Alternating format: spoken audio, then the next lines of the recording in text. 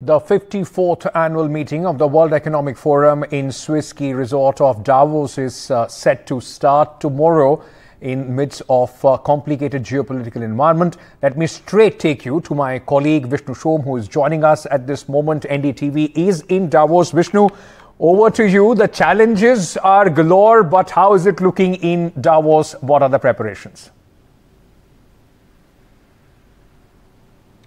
Well, the preparations are on. The World Economic Forum meet begins tomorrow, but it is unprecedented, the World Economic Forum meet this year, at least for the last several years. It comes in the face of several uh, challenges around the world, whether it's the war in West Asia, whether it is the continuing war in Ukraine, whether it is global uh, economic uh, uh instability. These are all concerns which will be looked upon over here. Uh, there are several foreign ministers who are coming over here. There's a big meeting of national security advisors from dozens of countries participating. Uh, the U.S. Um, uh, Secretary of State uh, the, uh, is, is going to be over here as well. The Ukrainian President Vladimir Zelensky will be over here.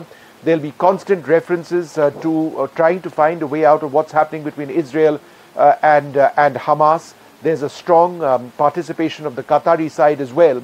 So, in a sense, um, Davos, which has primarily looked at economic affairs or economic issues, in the past, we'll be looking this time around not only at the economic challenges which exist, and of course, India is an outlier because of our strong growth, uh, but they would also certainly be looking at some of the other key factors which I've just highlighted.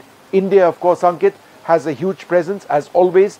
Three union ministers over here, the who's who of uh, Indian industry over here. It should be an exciting uh, WEF from an India standpoint and what's happening on the sidelines uh, but certainly over here, lots of hard talk on uh, what's happening around the world. Ankit?